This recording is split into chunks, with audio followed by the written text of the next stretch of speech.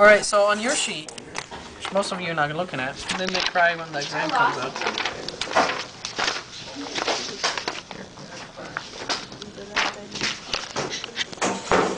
Alright, here we go. Alright, so I hope you guys went over urinary system by yourselves. Mm-hmm. Alright, so for the eye, I want you to know that choroid. Even though it's, it has a star next to it, I want you to know it. Alright, so on this one we have the lacrimal gland, extrinsic eye muscles, sclera is the white, cornea is the clear. Choroid is the purple, What's the purple? choroid. Cor. Iris, and the hole is the pupil. Your eye lens is lens.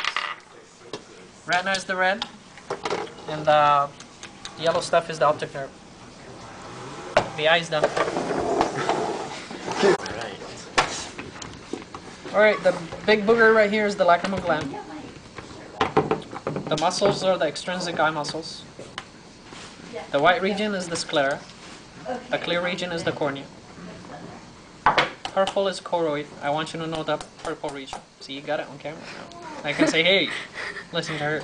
Alright, the blue region, the, your eye color, is the iris. The hole is the pupil. The eye lens is easy. Is the lens.